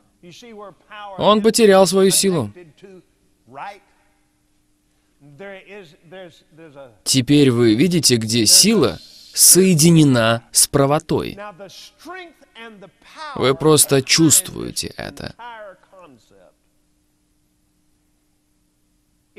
Немногие знают, понимают и осознают эту силу, стоящую за всем этим понятием. И те немногие, которые понимают и осознают ее, всегда весьма успешны. весьма успешны. Невозможно помешать им быть успешными. Изучите жизнь Иосифа. Куда бы вы его ни поместили, вы продаете его в рабство, а он в конечном итоге становится владельцем всего, что вы видите. Помните, когда они продали его? Они продали его высокопоставленному офицеру, который был богатым человеком. У него была своя собственность. И когда Иосиф пришел туда, там все начало умножаться. И дела пошли лучше. И тот человек сказал, с тобой Бог, с тобой Бог. Это Бог. Ничто другое этого не сделало бы. Такого раньше не происходило. Сюда приходили другие, но такого не происходило. Но что произошло? Когда испорченная жена этого человека, которая очень ревновала его, она завидовала тому общению, которое было у ее мужа с Иосифом, что между этими мужчинами было что-то, что было праведным. Ей это не нравилось. Почему Иосиф не обращает на меня достаточно внимания? В конце концов, что я здесь, пустое место? Это можно просто слышать. Поэтому она решает, я уничтожу его, уберу его отсюда. Что ж, ее образ мышления, возможно, разрушил все вокруг нее, поскольку то, чем она наслаждалась, пришло благодаря тому, что пребывало на Иосифе. Все деньги, которые у нее были, все сокровища и богатства, которые у нее были, то, что улучшилось в ее жизни, ее социальный статус, приходили именно от того, кого она пыталась уничтожить. Но она не имела об этом ни малейшего понятия. Она не поняла даже больше того, когда Иосиф не захотел иметь с ней ничего общего. Почему он не имел с ней ничего общего? Это было неправильно. Это было не только безнравственно перед Богом, но это было безнравственно в его мышлении, из-за того завета, который был у него с его хозяином. Он принадлежал тому человеку. Но Иосиф не видел себя рабом. Он видел себя состоящим в завете с тем человеком, и он намеревался делать того человека преуспевающим. Вот что делает честь. Честь всегда бьет дьявола его же оружием. Невозможно удержать человека чести внизу. С годами разные люди в армии увидели, что эти вещи работают, и они являются базовыми истинами, которые будут работать для любого, кто приведет их в действие. Они не работают в своей полной мере до тех пор, пока вы не соединитесь с Иисусом, поскольку в Нем вся полнота. Аллилуйя. И мы, по ходу, поговорим здесь кое о чем. Ну, например, Морская пехота Соединенных Штатов. Для того, чтобы обучать свой личный состав, чтобы вывести их на желаемый уровень, чтобы вывести боевые войска на желаемый уровень, они должны дать возможность каждому отдельному человеку быть обученным. И до тех пор, пока этот человек продолжает находить оправдание своим провалам, своей вялости и еще чему-то, его невозможно учить. Его невозможно тренировать.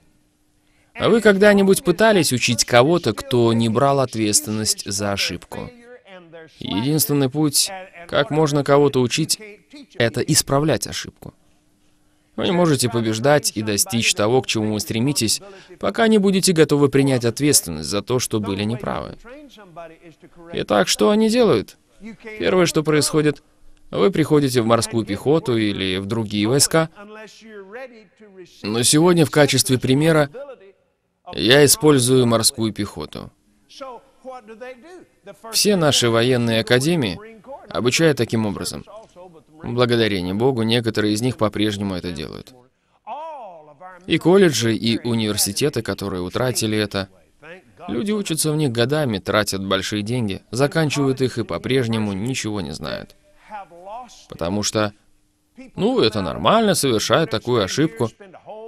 До тех пор, пока вы чувствуете себя вполне комфортно, это нормально. Говорите это так, как вам хочется это говорить. Делайте это так, как вам хочется это делать. Нет, есть пути, которые не являются правильными. 2 плюс 2 не равно 5. Даже если правительство издаст закон и скажет, что это равно 5. Не равно. Почему? Потому что 2 плюс 2 равно 4 является истиной. Это истина. И она не нуждается в пересмотре. Итак, первое, чему вас учат, это у вас на все есть только один ответ. Это всего несколько слов. Три слова. Если вы скажете что-то другое, у вас будут большие проблемы. Большие проблемы. Ваш единственный ответ — это «никаких оправданий, сэр». Не просто «никаких оправданий». Нет, этого недостаточно. Вы должны добавлять, сэр. Вы должны добавлять честь в это равенство. Если вы научитесь этому с Богом, вы далеко продвинетесь в структуре силы Божьей, о которой вы плакали и просили Бога все это время. Как я вижу кое-что в Библии, вы имеете то, что говорите. Я встаю и говорю это снова, снова, снова, снова, снова, снова, снова, снова, но этого не происходит, Господь. Почему оно так? Я просто этого не понимаю, я этого не понимаю. Что ж, я скажу вам это потому-то и потому-то. Да, но не значит, что это нужно делать. В конце концов, посмотрите, что она мне сделала. Она первая на меня плюнула. Так вы никогда туда не придете. А вот когда вы говорите, да, сэр, я это сделал. На этом оно и заканчивается. Правильно или неправильно, Бог позволит вам поступать по своей воле и по-своему. Именно вы приводите в действие либо праведность, либо грех. Вы приводите это в действие. Есть много всего, что в это вовлечено. Но когда вы добираетесь до сути, Бог оставит за вами право выбора. Он сказал, «Жизнь и смерть предложил я тебе, благословение и проклятие». Поэтому ты избери жизнь. Но вы должны сделать этот выбор. И когда вы начинаете ходить в том понятии и концепции, о которой мы будем говорить, вы начинаете осознавать, что вы ходите с Богом, в Боге, Богом, для Бога, под Богом. И Он ходит в вас, вами, для вас и через вас. И когда вы ходите вместе,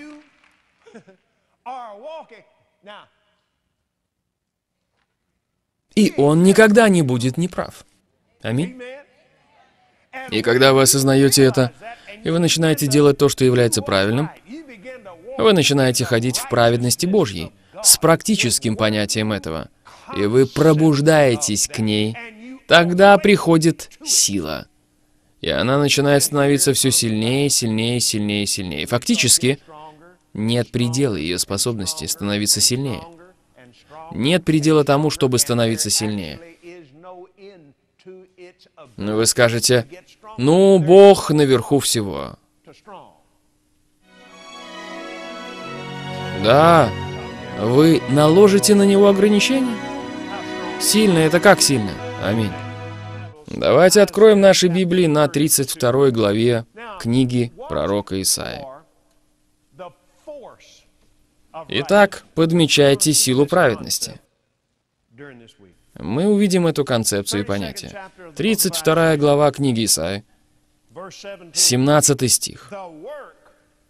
«И делом правды или праведности будет мир». Мир переводится как полнота,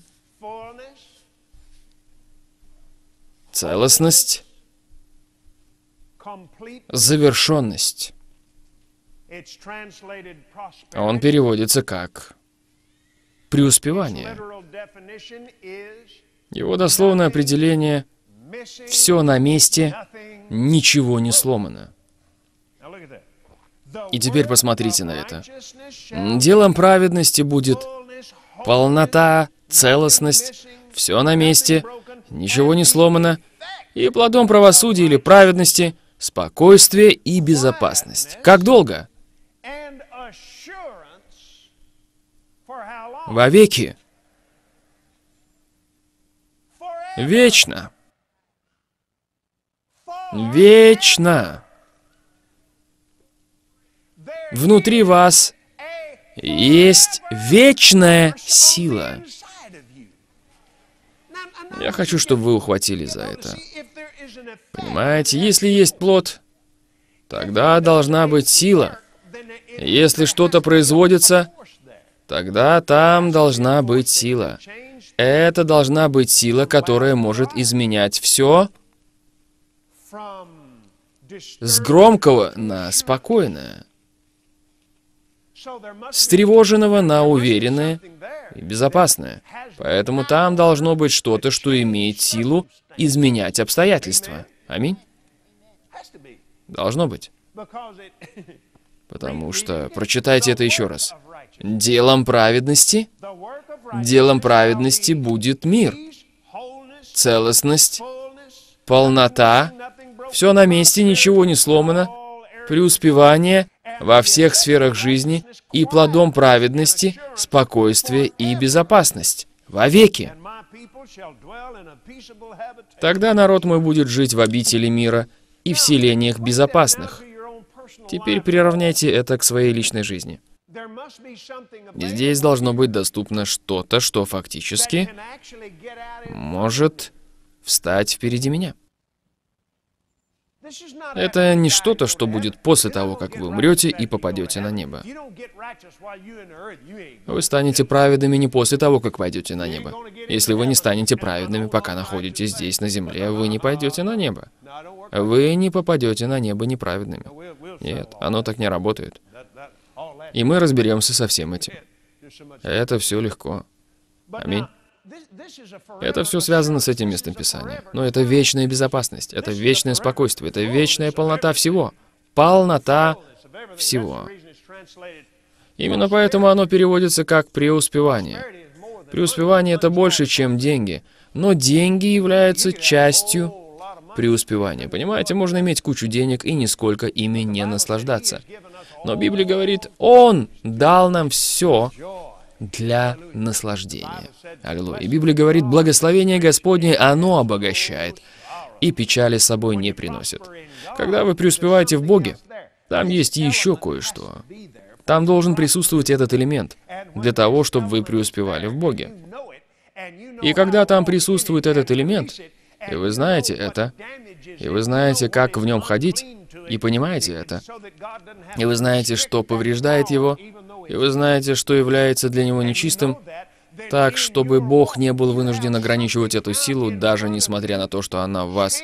И вы это знаете. Тогда в вашей жизни перед вами есть что-то, что изменяет те вещи, которые будут нарушать ваше спокойствие, которые будут забирать у вас ваше преуспевание. Что-то, что порождает и приводит те вещи, которые отвечают потребностям вашей жизни, отвечают радостям вашей жизни и исправляют ваши обстоятельства и ситуации до того, как вы с ними сталкиваетесь.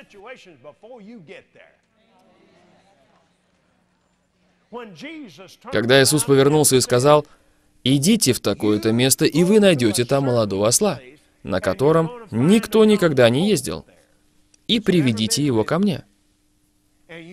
Они спросили, «Господь, что если нас спросят, зачем мы отвязываем этого осла?» Он сказал, «Скажите им, что он нужен Господу».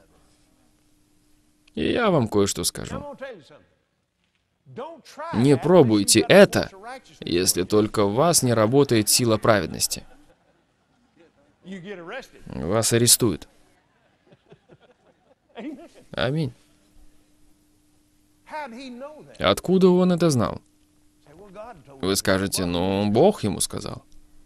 Что ж, Бог, Он кто? Бог праведный. Он ему это сказал.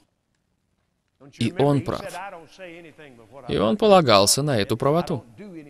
Разве вы не помните, что он сказал? «Я говорю только то, что сначала слышу, как говорит мой отец. Я делаю только то, что делает мой отец». Это было открыто ему. Поэтому он просто двигался в Духе Святом. И что произошло? Кто-нибудь из вас пробовал ехать на молодом осле, на котором никто никогда не ездил? Вам придется потратить на это целый день. Я вам гарантирую. Для него это не подходило.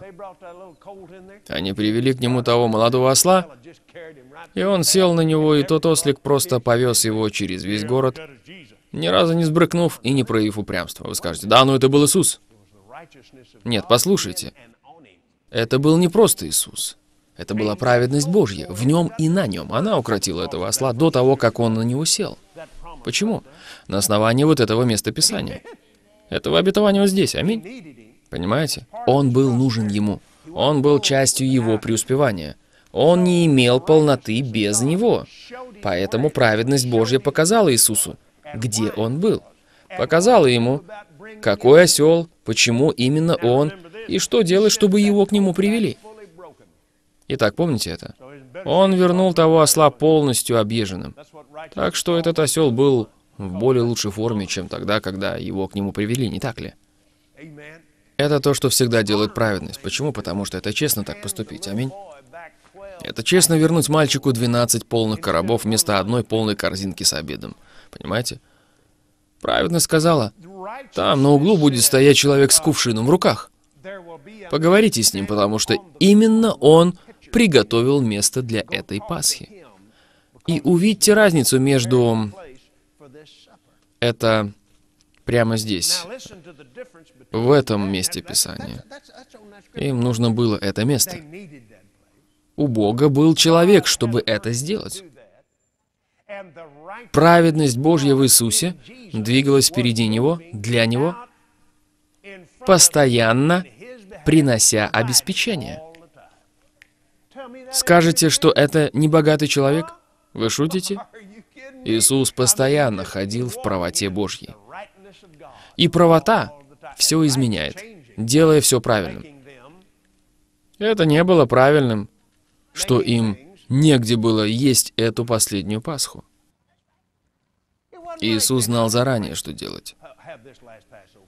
Просто подумайте о последних двух неделях или о том времени, когда вы были расстроены. Если бы вы точно знали, что делать, вы бы не были расстроены. Каждый раз, лежа в кровати, вы не говорили, «О, именно это я и буду делать. Я и сделаю это утром. Именно это я и должен здесь сделать. Именно, поэтому я так расстроен». Это не согласуется. Вы были расстроены как раз потому, что не знали, что делать. Вы не знали, как поступить. Если бы вы знали, вы бы... Где вы возьмете эти деньги? Что я буду теперь делать? Что я буду делать? Я просто не понимаю, что я буду делать. Что ж, неужели что-то бы изменилось, если бы вы просто легли спать? Разве не так?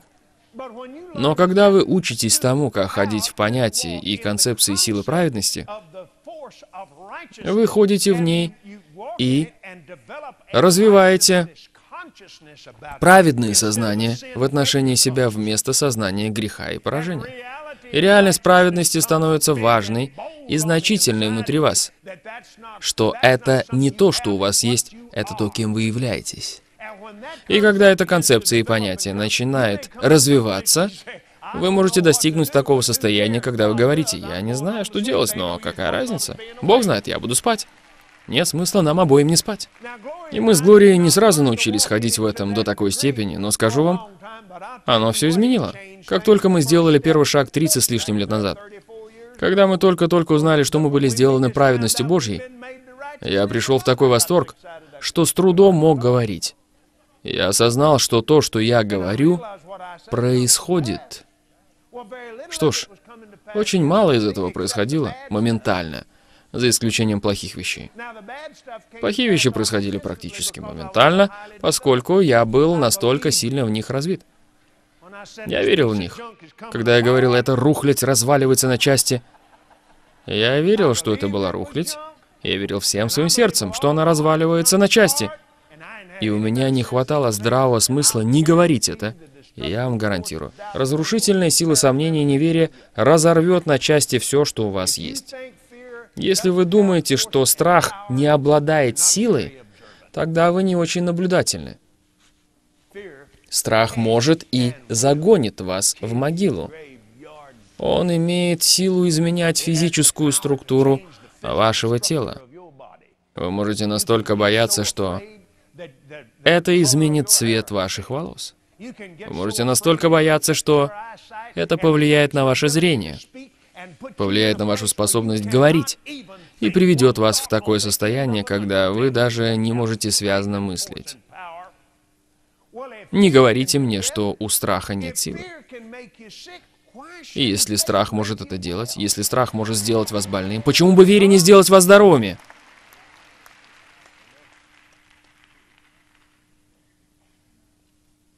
То же самое справедливо в отношении праведности Божьей. Аллилуйя. Как я уже раньше сказал, это ключ к Новому Завету. Давайте сделаем несколько утверждений, которые вы сможете записать. Итак, праведность. Запишите это. Здесь говорится плод праведности, спокойствие и безопасность или уверенность. Скажите уверенность, скажите это громко с какой-то силой. Это уверенность. Это данная Богом способность стоять в присутствии Бога Отца без чувства вины, осуждения или неполноценности. Как если бы греха никогда не существовало. И религия этому не учит.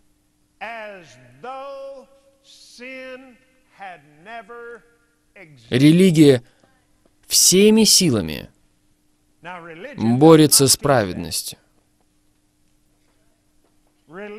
Религиозные сомнения и неверие приведут вас к состоянию неправедности быстрее, чем винный магазин.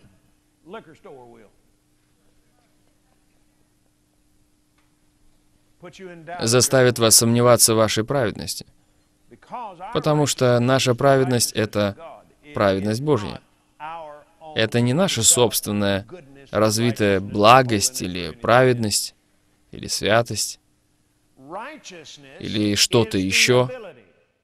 Праведность — это способность стоять перед лицом сатаны без всякого страха и смело противостоять ему, ожидая, что он убежит.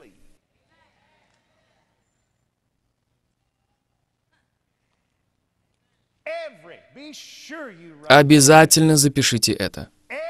Каждое чадо Божье. Каждый из нас.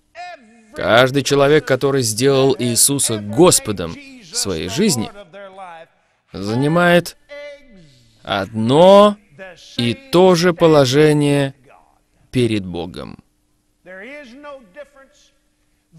Нет разницы. Нет разницы между культурами. Нет разницы между расовыми различиями.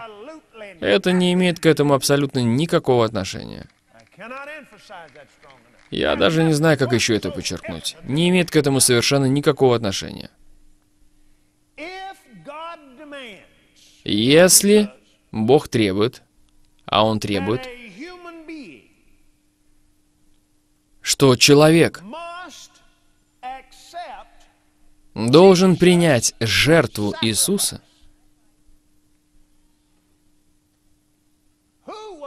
кто должен был первым принять жертву Иисуса за грех мира?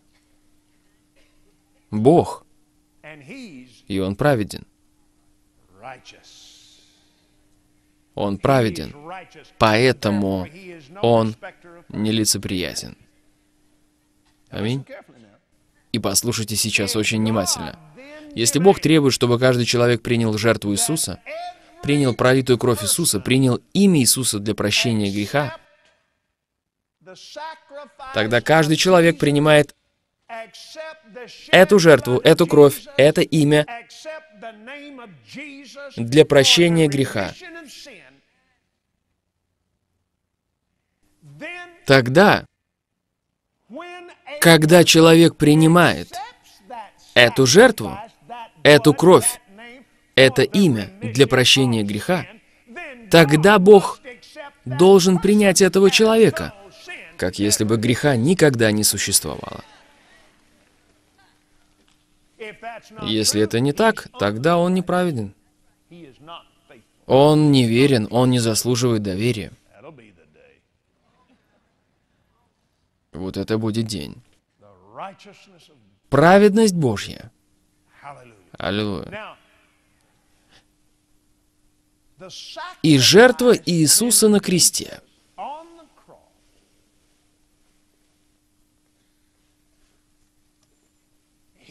Он взял наш грех.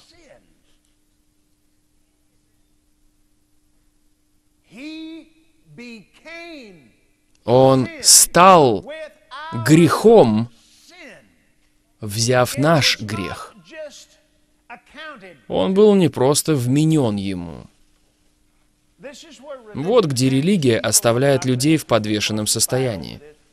Говорю вам, люди спорят и ссорятся из-за этого, хотя тут не о чем спорить. Если есть что-то, что касается ада, если есть что-то, что касается греха, что касается болезни, что касается нищеты, чего Иисус не взял на себя, тогда вам никуда от этого не деться. Люди спорят и ведут маленькие войны по поводу того, в чем нет никакого сомнения. Если мы просто обратимся к Слову Божьему и будем читать и верить тому, что говорит Слово Божье. Итак, он был сделан грехом, взяв наш грех. Совершил ли он грех? Нет. Был ли он грешником? Нет. Оставайтесь сейчас со мной. Адам позволил греху взять над ним вверх по своей собственной воле. Библия говорит, что Ева была обманута, а Адам нет. Из-за греха он позволил сатане взять над ним верх. Аминь. Иисус позволил сатане взять над ним верх. Он позволил греху взять над ним верх не совершая грех, а через жертву. Библия говорит, он сделал себя послушным смерти. Вы теперь это понимаете? Наша собственная праведность, наши хорошие дела, наша попытка очистить себя. Писание говорит, что это как запачканная одежда. Почему? Потому что это идет дальше уровня плоти. Плотские религии могут это делать. И даже атеист может научиться командовать своей плотью. Вам придется заставлять ее, резать ее, бить ее и сурово ее наказывать, чтобы в конечном итоге заставить ее делать то, что вы хотите, чтобы она делала. И это не то, как все это делает Бог. Бог делает это, изменяя человека внутри, позволяя праведности – поглотить это и позволяя Слову Божьему отделить вас от проблем, плоти, когда вы становитесь сведущими в Слове праведности. Как говорит Писание в пятой главе послания к евреям. «Пробудитесь к праведности и не грешите».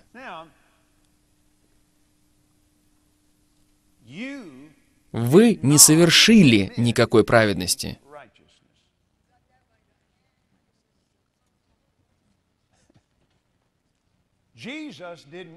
Иисус не совершил никакого греха. Он был сделан грехом. О, вы должны это понять. Он был сделан грехом, взяв наш грех. Тогда как мы были сделаны праведностью Божьей, не праведностью человеческой, не праведностью человеческой. Вот в чем разница, понимаете? Бог настолько прав. Он сверхъестественно прав.